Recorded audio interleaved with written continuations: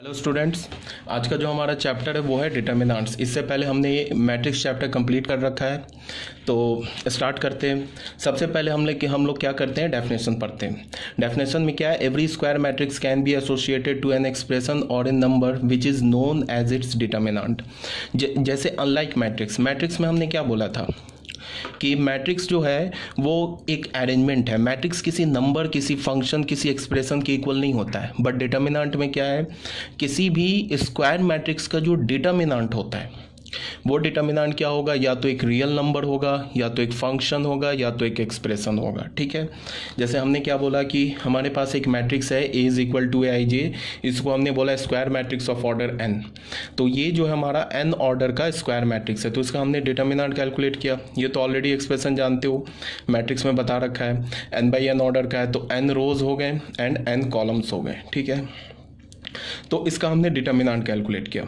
तो डिटर्मिनेंट जो होगा डिटर्मिनेंट कैलकुलेट करने से पहले ये जो तुम देख रहे हो ना, ये जो दो वर्टिकल लाइन के अंदर जो लिखा है, ये पूरा एक्सप्रेशन ये किसके इक्वल है? ये हमारा एक नंबर हो सकता है, ये हमारा एक्सप्रेशन हो सकता है, ये हमारा एक फ़ंक्शन हो सकता है। ये डिपेंड किस पे करेगा? कि अंदर जो एलिमेंट लिखा हुआ है, अगर ये सारे एलिमेंट्स रियल नंबर लिखे हुए हैं तो ये पूरा डिटर्मिनेंट जो होगा ना, ये किसके इक्वल हो जाएगा? एक रियल नंबर के इक्वल हो जाएगा। अगर इसमें कुछ एलिमेंट्स जो हैं, वो एक एक्सप्रेशन लिखे हुए हैं। तो फिर इसके डिटर्मिनेंट की वैल्यू क्या हो जाएगी? एक्सप्रेशन के इक्वल हो जाएगी। अगर इसके कुछ एलिमेंट्स एक फ़ंक्शन लिखे हुए हैं तो इस डिटर्मिनेंट की वैल्यू क्या हो जाएगी? एक फ़ंक्शन के इक्वल हो जाएगी। ठीक है? ये आप ऑलरेडी जानते हो कि ये हमारा आयत रो है, ये हमारा जेयत कॉलम है, और ये हमारा जनरल एलिमेंट है। जनरल एलिमेंट को हम किससे रिप्रेजेंट करते हैं? ए आई जे यहाँ आई वन से लेके एन तक वैल्यू लेगा, और जे वन से लेके एन तक वैल्यू लेगा। तो ये सारे एलिमेंट्स आ जाएँगे। ये तो ऑलरेडी आप जानते हो, ये हमने ऑलरेडी मैट्रिक्स चैप्टर में ये सब काफ़ी डिटेल से डिस्कस कर रखा है, ठीक है? तो क्या बोला मैंने कि ये जो पूरा एक्सप्रेशन लिखा है ना, ये जो लिखा हुआ है दो वर्टिकल बार के अंदर ये जो पूरा लिखा हुआ है, ये किसके इक्वल है? या तो ये एक नंबर होगा, या तो ये एक एक्सप्रेशन होगा, या तो ये एक फ़ंक्शन होगा, ठीक है? उसके बाद बच्चों आ जाओ। नेक्स्ट जो हमारा सेकंड पेज है, इसमें क्या लिखा है कि ए आई जे को हमने क्या बोला? जनरल एलिमेंट ठीक है? ये तो ऑलरेडी आपको बता रखा है मैट्रिक्स चैप्टर से। आई क्या से होगा? वन से लेके एन तक होगा। जे क्या होगा? वन से लेके एन तक होगा। और हमारा एन क्या होगा? नेचुरल नंबर ठीक है? इसमें हमने नोट वन में क्या बताया? फॉर ए मैट्रिक्स ए अगर हमारे पास कोई ए मैट्रिक्स है तो ऐसे लिखते हैं ना determinant A is read as determinant of A ये भी बहुत एलिमेंट्री सी बात हो गई। इसे हम क्या बोलेंगे? डिटर्मिनाट ऑफ़ ए जनरली इसे मॉड ए भी बोलते हैं। कभी किसी किसी बुक में देखोगे कि बोलेगा कि मॉड ए नहीं बोलते बट किसी बुक में मॉड ए भी बोलते हैं। बट यहाँ पे मॉड ए का क्या मतलब हो गया? Determinant of matrix A mod A का ये नहीं मतलब हुआ कि ए हमारा कोई रियल नंबर नहीं है। A is not a real number A real number नहीं है तो इसका क्या मतलब है? कि मॉड ए जो होगा हमारा, वो एक रियल नंबर नहीं आएगा। इट कैन बी पॉजिटिव और इट कैन बी निगेटिव ये पॉजिटिव भी हो सकता है और ये निगेटिव भी हो सकता है। ठीक है तो ऑलरेडी मैट्रिक्स चैप्टर में मैंने बता रखा है। उसके बाद क्या है only square matrices have determinants सिर्फ़ स्क्वायर मैट्रिक्स का डिटर्मिनेंट एग्जिस्ट करता है नॉन स्क्वायर मैट्रिक्स का डिटर्मिनेंट एग्जिस्ट नहीं करता है। ठीक है थर्ड पॉइंट में क्या लिखा है number place horizontally are set to form rows and number place vertically are set to form column in determinant number of rows is equal to number of columns ये सब तो एलिमेंट्री बात है, आप मैट्रिक्स चैप्टर से जानते हो। ये जो हॉरिजेंटल में ऐसे रखा हुआ है ना, ये क्या है हमारा? ये इसको हम रोज़ बोलेंगे और ये जो वर्टिकल में रखे हुए नंबर्स, इसे हम कॉलम्स बोलेंगे। मैं डिटर्मिनेंट में क्या होगा, number of rows and number of columns equal होंगे। क्यों होंगे? बिकॉज़ हम स्क्वायर मैट्रिक्स का ही डिटर्मिनेंट निकालते हैं। नॉन स्क्वायर मैट्रिक्स का डिटर्मिनेंट जो होता है, वो डिफाइन नहीं होता है। ठीक है? फॉर एग्ज़ाम्पल आ जाओ। ये हमारे पास क्या है? एक टू बाई थ्री का मैट्रिक्स है। तो टू बाई थ्री का मैट्रिक्स है, ये तो स्क्वायर मैट्रिक्स नहीं है तो इसका डिटर्मिनांट एग्जिस्ट नहीं करेगा। क्यों नहीं करेगा? Because number of rows is not equal to number of columns ठीक है? अब बच्चों, आ जाओ बी में। ये टू बाई टू ऑर्डर का मैट्रिक्स है तो इसका डिटर्मिनांट एग्जिस्ट करेगा। क्यों करेगा? Because as number of rows is equal to number of columns ठीक है? फोर्थ पॉइंट में आ जाओ। Order of determinant is n cross n or n. If it has n number of rows and columns मतलब क्या है कि generally हम ऑर्डर क्या बोलेंगे? n क्रॉस n नहीं बोलते हैं। हम बोलेंगे डिटर्मिनांट ऑफ़ ऑर्डर थ्री तो डिटर्मिनांट ऑफ़ ऑर्डर थ्री बोलने का क्या मतलब है कि जिस मैट्रिक्स का हम डिटर्मिनांट निकाल लें, उसमें three rows and three columns हैं। अगर हमने बोला डिटर्मिनांट ऑफ़ ऑर्डर ट्वेंटी तो इसका मतलब जिस मैट्रिक्स का हम डिटर्मिनांट निकाल लें, उसमें twenty rows and twenty columns हैं। ठीक है? तो ये तो बेसिक एलिमेंट्री सी बात है, ये तो आप ऑलरेडी जानते हो। उसके बाद, इसमें कुछ एक एग्जांपल और देख लो। जैसे हमने क्या लिया? डिटर्मिनांट ऑफ़ ए मैट्रिक्स ये टू बाई टू ऑर्डर का मैट्रिक्स है। ऑर्डर इसका क्या है? टू बाई टू अब हमने क्या किया? डिटर्मिनांट लिया बी मैट्रिक्स का लिया। बी क्या हमारा? नल मैट्रिक्स है। तो नल मैट्रिक्स को हम क्या बोलते हैं? और नल मैट्रिक्स कैसा है? वन बाई वन ऑर्डर का। तो डिटर्मिनेंट ऑफ़ ज़ीरो ऑर्डर इसका क्या है? वन बाई वन अगर हमने सी मैट्रिक्स लिया थ्री बाई थ्री तो इसका ऑर्डर क्या है? थ्री इसका ऑर्डर क्या है? फोर ठीक है, ये सब तो जानते हो ऑलरेडी फिफ्थ पॉइंट में क्या मैं बोल रहा हूँ कि JEE Mains JEE Advance of board में सिर्फ़ थ्री बाई थ्री ऑर्डर के मैट्रिसेस ही आते हैं। अब हो सके कभी पूछ दे फोर बाई फोर ऑर्डर का तो वो अलग सी बात है। बट अभी तक थ्री बाई थ्री ऑर्डर के मैट्रिक्स से ही क्वेश्चन आते हैं। Four by four five by five order के मैट्रिक्स डिटर्मिनांट के क्वेश्चन नहीं आते। ठीक है तो यही बोला गया आई टी जेई और board only determinant of order up to three by three और three will be ask three by three से ऊपर नहीं पूछेगा। ठीक है? और अगर मान लो पूछ भी देता है फोर बाई फोर ऑर्डर का तो उसमें भी कोई प्रॉब्लम नहीं है। जिस तरह से हम four by three by three order के डिटर्मिनांट को ट्रीट करते हैं, जैसे हैंडल करते हैं एग्जैक्टली सेम लाइन पे four by four five by five six by six order का डिटर्मिनांट भी हैंडल हो जाए एग्जैक्टली सेम लाइन पे, कहीं कोई डिफरेंस नहीं है। सिक्स पॉइंट में क्या बोल है? Elements A I J will be the element belongs to I throw and J eth column ये भी आप जानते हो। इन diagonal element I is equal to J होता है। ये भी आप जानते हो that is number of rows is equal to number of columns so A I I ये किसे रिप्रेजेंट करेगा? ये डायगनल के एलिमेंट्स को रिप्रेजेंट करेगा। So A I I represents the diagonal elements A one one A two two A N N अगर हमारे पास determinant N by N order का है तो उसके डायगनल में एन एलिमेंट्स होंगे। वो एन एलिमेंट्स क्या होंगे? A one one A two two A three three A N N ठीक है? जैसे ये देख लो, ये डिटर्मिनांट है थ्री बाई थ्री ऑर्डर का। तो इसमें इसके डायगनल में कितने एलिमेंट्स हैं? थ्री एलिमेंट्स हैं। ए वन वन क्या है? Minus one A two two क्या है? फोर ए थ्री थ्री क्या है? मतलब थर्ड रो थर्ड कॉलम पे कौन सा एलिमेंट है? सेवन तो माइनस वन फोर सेवन को हम क्या बोलेंगे? डायगनल एलिमेंट्स और डायगनल के ऊपर और डायगनल के नीचे जो एलिमेंट्स होगा, उसे हम क्या बोलेंगे? ऑफ़ डायगनल एलिमेंट्स तो यहाँ ऑफ़ डायगनल एलिमेंट्स क्या हो जाएँगे? Zero two five three minus one and eight clear है ये बात? इसके बाद बच्चों, आ जाओ, यहाँ पे हमने क्या बोला? फॉर डायगनल एलिमेंट्स क्या होगा? I is equal to J होगा। फॉर नॉन डायगनल एलिमेंट्स क्या होगा? I not equal to J होगा। फिर एट पॉइंट में क्या बोला जा रहा है? ए आई जे और ए जे आई ये एक दूसरे का कंजुगेट एलिमेंट्स है। ये भी ऑलरेडी मैट्रिक्स चैप्टर में बताया जा चुका है।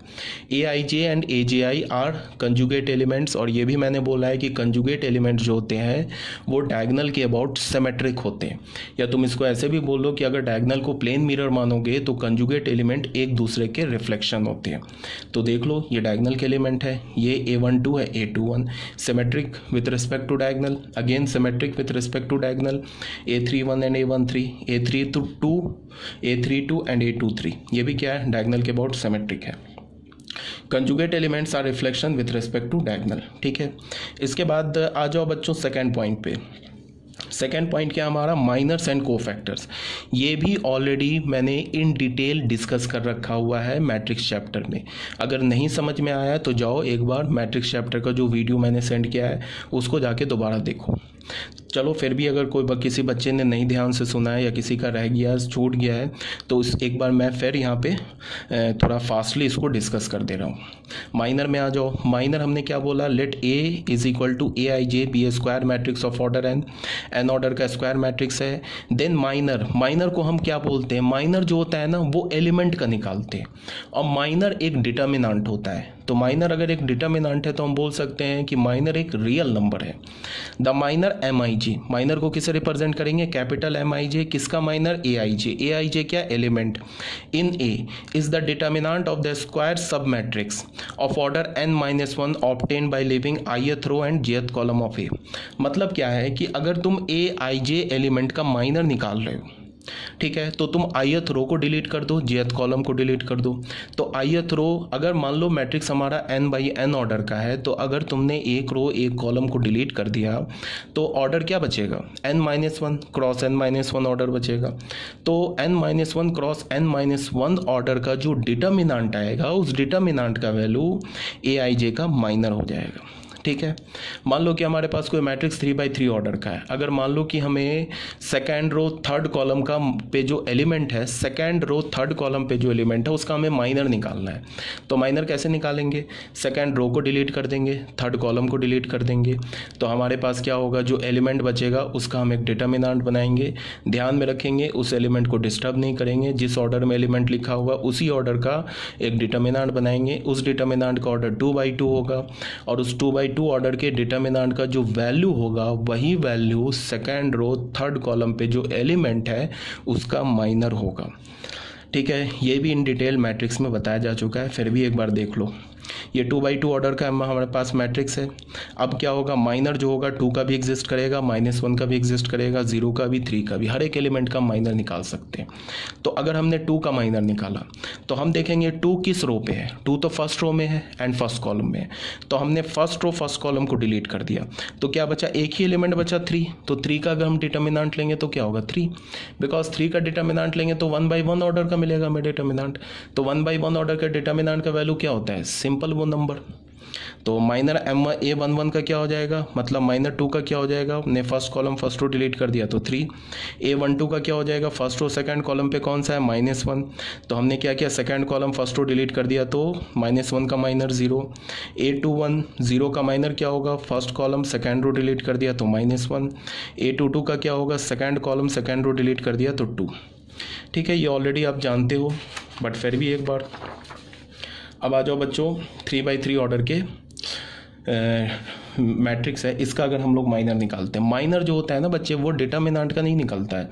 वो माइनर मैट्रिक्स के एलिमेंट का निकलता है। मैट्रिक्स के हर एक एलिमेंट का निकलता है। और जो माइनर होता है, वो एक डिटर्मिनाट होता है। ठीक है? तो हम बोलेंगे कि जो एलिमेंट का जो माइनर होगा, वो एक रियल नंबर होगा। ठीक है? तो हाँ माइनर ऐसा नहीं है। माइनर हमारा एक एक्सप्रेशन भी हो सकता है फ़ंक्शन भी हो सकता है। डिपेंड करेगा कि वो मैट्रिक्स के जो एलिमेंट है, वो अगर एलिमेंट्स फ़ंक्शन में लिखे हैं तो क्या होगा? फिर माइनर फ़ंक्शन हो जाएगा। ठीक है? अगर मैट्रिक्स का एलिमेंट सारे एलिमेंट्स रियल नंबर हैं तो फिर माइनर क्या हो जाएगा? एक रियल नंबर हो जाएगा। मान लो अगर हमें माइनस वन का माइनर निकालना है तो हम क्या करेंगे? माइनस वन को देखेंगे, किस रो किस कॉलम में है? तो माइनस वन जो है ना, ये फ़र्स्ट कॉलम फ़र्स्ट रो में है। ए वन वन का एलिमेंट है तो हमने फ़र्स्ट कॉलम डिलीट कर दिया फ़र्स्ट रो डिलीट कर दिया। ये जो चार एलिमेंट बचे, इसको डिस्टर्ब नहीं किया। इसी ऑर्डर में इसका डेटामिनांट निकाल लिया। तो क्या मिला हमें? माइनस ट्वेंटी फोर तो माइनस वन का माइनर क्या हो जाएगा? माइनस ट्वेंटी फोर फिर थ्री का माइनर निकालेंगे। तो थ्री का माइनर कैसे निकालोगे? थ्री हमारा फ़र्स्ट रो सेकेंड कॉलम में है।